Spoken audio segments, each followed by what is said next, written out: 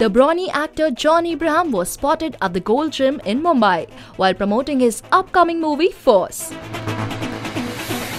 At the event, John left no stone unturned to entertain the audiences and the media present. He pumped iron and even exercised with his fans. John was not shy to show off his toned muscles either. John spilled the beans about his fitness regime for the movie Force. तो कौन से Hollywood star जैसी body बनानी है John को?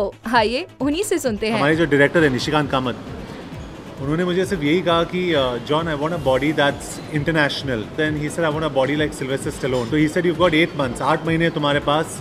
अभी 8 महीने में करके दिखाओ मैं and I think after 8 months पैती Sunday दिन में और क्या क्या खा खा के we have finally arrived to this speaking about his upcoming movie Force is an action thriller film directed by Nishikant Kamath, starring John Abraham and Janelia D'Souza in lead roles. The film is all set to hit the theaters on September 30th. John also said that Force is a commercial film with a message for the youth. Though the film's commercial, the message that goes out there to the youth is that uh, the children should not do drugs, youngsters should not do drugs. And that's what we've uh, passed on through this film. It's a very strong message. That's why I played an NCB cop. इसे कहते हैं full force में movie promotion. not much star power, but this one surely had a lot of force behind it.